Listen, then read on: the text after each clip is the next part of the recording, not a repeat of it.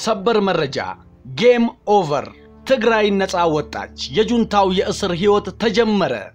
ስልቻ ቀልቀሎ ቀልቀሎ ስልቻ፣ ጉራ ብቻ፣ አሻው፣ አንበሳው፣ ውሮ ሸባዬ፣ ውሮ ሸባ፣ አሸኙትም ሆይ አሸኙትም ሆይ ሊታሰር አይደሎይ። በአንዳንድ ከተሞች መሳሪያ እየተተኮሰ መኪኖች የሰርግ ጥሩምባቸውን እየነፉ አስፓልት መንደሩን ቀን ጠራራ ፀሐይ አድርገውታል። ለካ ለሀገሬ ሕዝብ ሳይመሽ የመሸበት በጀንበሯ ማዘግዘቅ አልነበረም። ይኸው ትናንት በቀን መሸብን ብለን በጊዜ እንገባለን። እነሆ የሀገሬ ወጣት አሁን በምሽት ነጋልን ብሎ አስፓልቱን በደስታ ሞላው። እናንተ ልጆቻችሁ በህዋት ተገድለው ያነባችሁ እናቶች፣ እናንተ ልጆቻችሁን እንደ ግብር የከፈላችሁ አባቶች፣ እናንተ ሳቃችሁን የተነጠቃችሁ ወጣቶች፣ እናንተ እናሸማግል ስትሉ ሰሚ ያጣችሁ የሀገር ዋርካ የሀገር ሽማግሌዎች እናንተ የጥይት ድምፅ ጆሮአችሁን እየበሳው ገላችሁን እያከሳው የተቸገራችሁ የትግራይ ወይዛዝርቶች እንኳን ደስ አላችሁ። አሁን እንስቅ ዘንዳ ጥርሶቻችን ለዘላለም ይጠርስሱ። የጎመን ምንቸት ውጣ፣ የድንች ምንቸት ግባ፣ የጁንታው ዘመን ውጣ፣ የኢትዮጵያ ዘመን ግባ፣ የሐዘን ዘመን ውጣ፣ የደስታ ዘመን ግባ፣ የለቅሶ ዘመን ውጣ፣ የሳቅ ዘመን ግባ፣ የዘረኝነት ዘመን ውጣ፣ የአንድነት ዘመን ግባ፣ የጦር ዘመን ውጣ፣ የፍቅር ዘመን ግባ። ድሮም የሚጮህ ውሻ ቁራ መሳይ ድምፅ እንጂ ጀግና መሳይ ጉልበት የለው። አሮጌውን ውሻ አዲሱ አንበሳ ዘርሮታል። አሮጌውን አምባገነን አዲሱ ብልጽግና ሰንኩቶታል። ጠቅላይ ሚኒስትር ዶክተር አብይ አህመድ መከላከያ ሰራዊት መቀሌ ከተማ መግባቱን አሳውቀዋል። የመከላከያ ሰራዊት ባካሄደው ዘመቻ ንጹሐን ዜጎች ኢላማ ሳይሆኑ ከተሞቻችንና ቅርሶቻችን ሳይጎዱ መቀሌ ለመግባት መቻሉን ጠቅላይ ሚኒስትር አብይ አህመድ በማህበራዊ ገጻቸው አሳውቀው በተካሄደው ዘመቻ ንጹሐን ዜጎች ኢላማ ሳይሆኑ ከተሞችና ቅርሶች ሳይጎዱ መቀሌ ለመግባት መቻሉን ነው የገለጹት። ከዚህ በተጨማሪ የትግራይ ህዝብ በሕግ ከሚፈለጉት የህወሓት ቡድን አባላት ጋር እንዳልሆነ በተግባር አስመስክረዋል ብሏል። መከላከያ ሰራዊት መቀሌ ከተማን ለመቆጣጠር የወታደራዊ ዘመቻውን ጀምሮ ዛሬ ከረፋዱ አራት ሰዓት ጀምሮ በከተማዋ ዙሪያ የከባድ መሳሪያ ድምፅና ፍንዳታዎች መሰማት እንደጀመሩ ቢቢሲ፣ አልጀዚራና ሮይተርስ ዘግቦ ነበር። የህወሓት ሊቀመንበር የሆኑት ዶክተር ደብረጽዮን ትንቢታቸው በርዶላቸው እብሪታቸው ለቋቸው እንደ ጫጩት ተኮማትረው እንደ ቀሚስ ተሸብሽበው ለሮይተርስ በጽሑፍ መልእክት መቀሌ ላይ የከባድ መሳሪያ ድብደባ እየተካሄደ ነው ሲሉ በሚንቀጠቀጥ ድምፅ በሚንዘፈዘፍ በሚርገበገብ ጉሮሮ ሲር ሲር በምትል ነፍስ ገልጸዋል። የጦር ኃይሎች ጠቅላይ ኤታማዦር ሹም ጀነራል ብርሃኑ ጁላ በበኩሉ መከላከያ ሰራዊት መቀለን ሙሉ በሙሉ መቆጣጠሩን አረጋግጠዋል። ከዚህ ጋር በተያያዘ በህገወጡ የትህነግ ቡድን ታግተው የነበሩ ከስድስት ሺህ በላይ የመከላከያ ሰራዊትና የፌዴራል ፖሊስ አባላት አምልጠው ወደ አማራ ክልል እየገቡ መሆኑ ታውቋል። በትህነግ ህገወጥ ቡድን ታግተው የነበሩ ከስድስት ሺህ በላይ የመከላከያ ሰራዊትና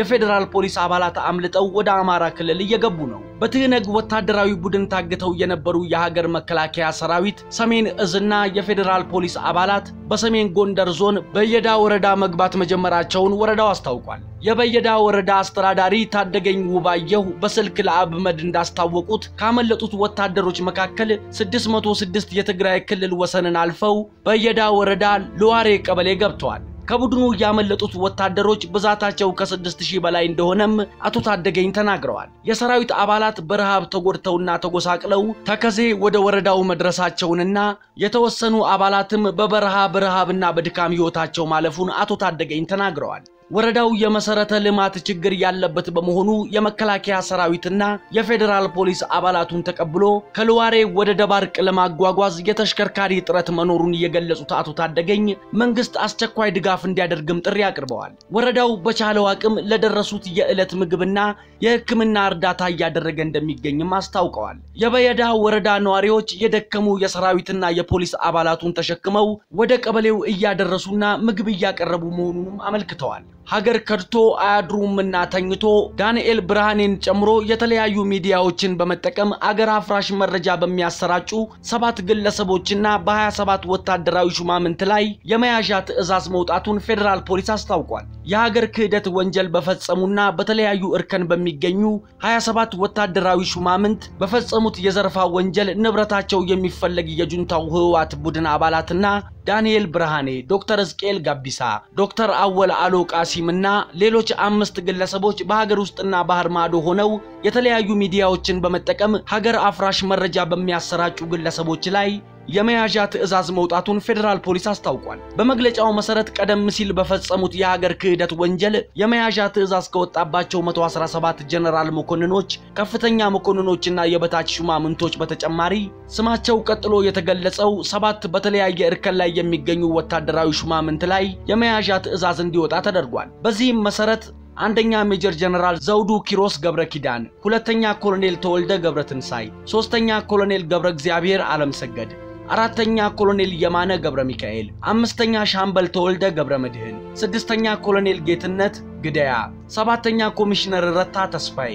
ሲሆኑ በተያያዘም ቀደም ሲል የነበራቸው ወታደራዊ ኃላፊነትና ከጁንታው የህወሓት ቡድን ጋር ያላቸውን ጥብቅ ትስስር ተጠቅመው ከፍተኛ የዘረፋ ወንጀል በመንግስት ላይ በመፈጸም ከፍተኛ ንብረት ማካበታቸው የተደረሰባቸው ሀያ ግለሰቦችም ስማቸው ቀጥሎ ተገልጿል። አንደኛ ሌትናንት ጀነራል ታደሰ ወረደ፣ ሁለተኛ ሜጀር ጀነራል ገብረ አድሃና ወይም ገብረ ዲላ፣ ሶስተኛ ተክለ ብርሃን ወልደ አረጋይ ወይም ሳንቲም፣ አራተኛ ሜጀር ጀነራል ብርሃነ ነጋሽ ወይም ወደ መድህን፣ አምስተኛ ሜጀር ጀነራል ማእሾ በየነ፣ ስድስተኛ ሜጀር ጀነራል ኢብራሂም አብዱል ጀሊል፣ ሰባተኛ ሜጀር ጀነራል ዮሐንስ ወልደ ጊዮርጊስ፣ ስምንተኛ ሜጀር ጀነራል ነጋሲ ትኩእ፣ ዘጠነኛ ብርጋዴር ጀነራል አባዲ ፍላንሳ፣ አስረኛ ብርጋዴር ጀነራል ጸጋይ ተሰማ ወይንም ፓትሪስ፣ አስራ አንደኛ ብርጋዴር ጀነራል ምግበ ኃይለ፣ አስራ ሁለተኛ ብርጋዴር ጀነራል ተክላይ አሸብር ወይም ወዲ አሸብር፣ አስራ ሶስተኛ ብርጋዴር ጀነራል ኃይለ ስላሴ ግርማይ ወይም ወዲ እበይተ 14ተኛ ብርጋዴር ጀነራል ሙሉጌታ በርሄ፣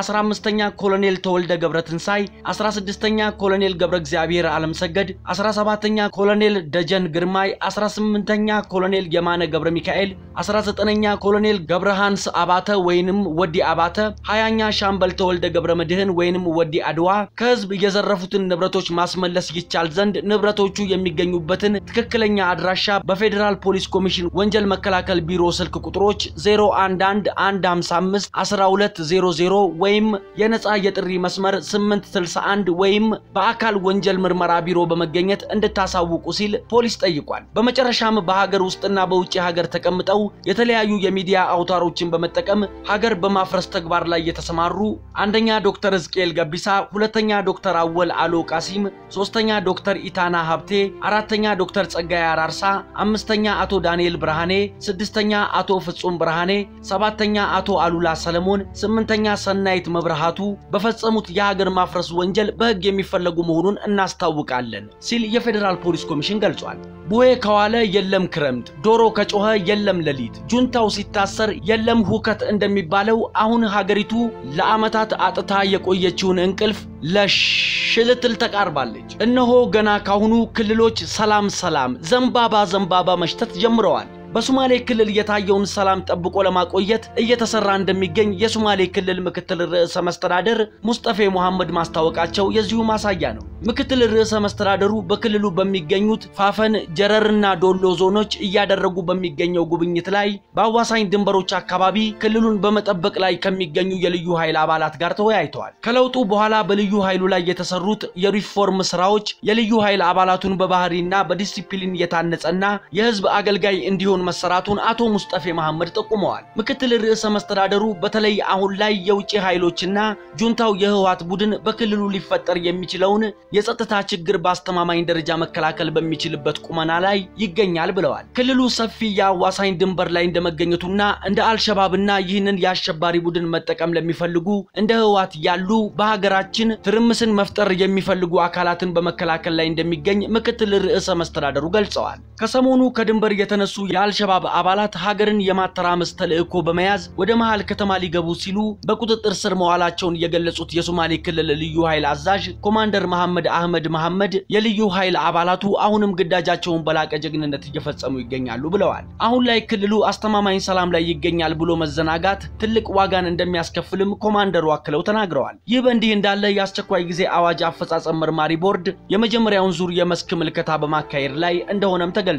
ህገ መንግስቱንና ህገ መንግስታዊ ስርዓቱን ከአደጋ ለመከላከል ሲባል በቅርቡ የጸደቀው የአስቸኳይ ጊዜ አዋጅ አፈጻጸም መርማሪ ቦርድ የመጀመሪያውን ዙር የመስክ ምልከታ በማካሄድ ላይ መሆኑን የህዝብ ተወካዮች ምክር ቤት አስታውቋል። ቦርዱ ህዳር 14 ቀን 2013 ዓ ም የጀመረው የመስክ ምልከታ እስካሁን በባህር ዳር በጎንደርና በዳንሻ አካባቢዎች ተዘዋውሮ የምርመራ ስራውን አከናውኗል። በከሃዲው የህወሓት ቡድን ጥቃት የደረሰባቸውን የባህር ዳርና የጎንደር አየር መንገዶችን በመመልከት ነው መርማሪ ቦርዱ ስራውን የጀመረው። የመርማሪ ቦርዱ አባላት በሲቪል አየር ማረፊያ የተደረገው የጥቃት ሙከራ ኢሰብአዊ መሆኑን ገልጸው ምናልባት ተመሳሳይ ጥቃት ሊፈጸም ስለሚችል ጥንቃቄ እንደሚያስፈልግ ለሁለቱም አየር መንገድ የሥራ ኃላፊዎች ምክረ ሐሳብ አቅርበዋል። የመርማሪ ቦርዱ አባላት የጎንደር ዩኒቨርሲቲ ሆስፒታልን በጎበኙበት ወቅት በከሃዲው የህወሓት ቡድን አስገዳጅነት በተሰማሩበት ግጭት የተጎዱ ታካሚዎችን ተመልክቷል። አባላቱ በሆስፒታሉ የሕክምና እርዳታ ሲደረግላቸው የነበሩ የትግራይ ልዩ ኃይልና ሚሊሻ አባላትን ባነጋገሩበት ወቅት ታካሚዎቹ ተገቢ የሕክምና እርዳታ እየተደረገላቸው መሆኑን አስረድተዋል።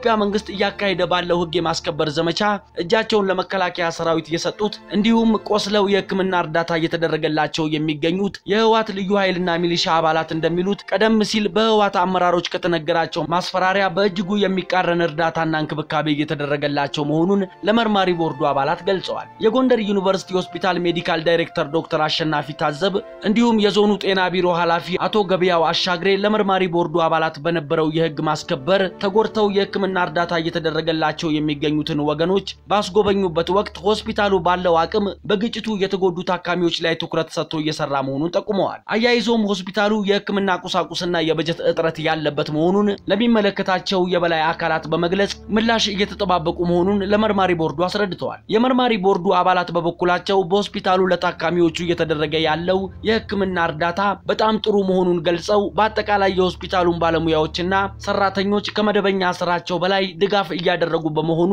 እንዲሁም የጎንደር ከተማ ወጣቶችና ባለሀብቶች ደግሞ ሀገራዊ በሆነ ስሜት ድጋፍ እየሰጡ በመሆኑ አመስግነዋል። በቀጣይም የሆስፒታሉን አቅም ለመገንባትና ለገጠመው የበጀትና የህክምና ቁሳቁስ ጉድለት መፍትሄ ለማፈላለግ ከሚመለከታቸው አካላት ጋር በመነጋገር እንደሚሰሩ የመርማሪ ቦርዱ ሰብሳቢ የተከበሩ አቶ ለማ ተሰማ ጠቁመዋል። መርማሪ ቦርዱ ወደ ዳንሻ ባመራበት ወቅት በጽንፈኛው ቡድን የመጀመሪያው የጥቃት ሰለባ የሆነውን የሰሜን እዝ አምስተኛ ሜካናይዝድ ክፍለ ጦር ጎብኝቷል። ከብርጋዴር ጀነራል ሙሉ ዓለም ጋር በመገናኘታቸው ክብር እንደሚሰማቸው የገለጹት የመርማሪ ቦርዱ አባላት በጥቃቱ ክፉኛ ማዘናቸውን ገልጸው ለህይወታቸው ሳይሳሱ በከፍተኛ የሀገር ፍቅር ስሜትና ተጋድሎ ሀገራችንን ከመበታተን አደጋ ከመበታተን አደጋ በማዳናቸው ጀነራሉንና የክፍለ ጦሩን አባላት በጠቅላላ አመስግነዋል። የአስቸኳይ ጊዜ አዋጁ መርማሪ ቦርድ የመስክ ምልከታውን የቀጠለ ሲሆን በቀጣዮቹ ቀናት ወደ ሌሎቹ አካባቢዎች ተንቀሳቅሶ መረጃዎቹን እንደሚሰበስብ ይጠበቃል። በመጨረሻም ህወሓትን ማሩት፣ ይቅር በሉት ለሚሉ ሀገራት ግብረ መልስ ይሆን ዘንድ በትግራይ ክልል እየተወሰደ ስላለው ህግን የማስከበር እርምጃ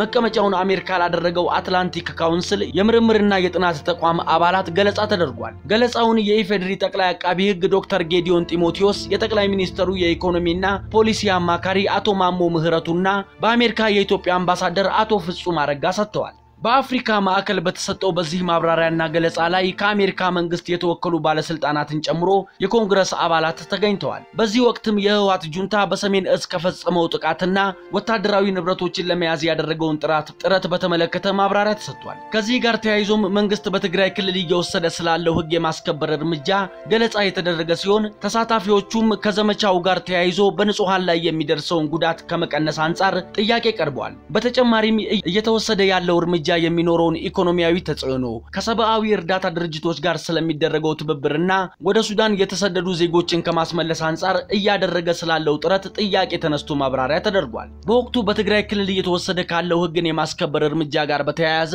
ተመሳሳይ ውይይቶች እንዲደረጉም ሀሳብ ተነስቷል። የጎመን ምንቸት ውጣ፣ የድንች ምንቸት ግባ፣ የጁንታው ዘመን ውጣ፣ የኢትዮጵያ ዘመን ግባ፣ የሐዘን ዘመን ውጣ፣ የደስታ ዘመን ግባ፣ የለቅሶ ዘመን ውጣ፣ የሳቅ ዘመን ግባ፣ የዘረኝነት ዘመን ውጣ፣ የአንድነት ዘመን ግባ፣ የጦር ዘመን ውጣ፣ የፍቅር ዘመን ግባ። ሁሌም ድል ለኢትዮጵያ። ደስ ብሎናል። ደስ ይበላችሁ።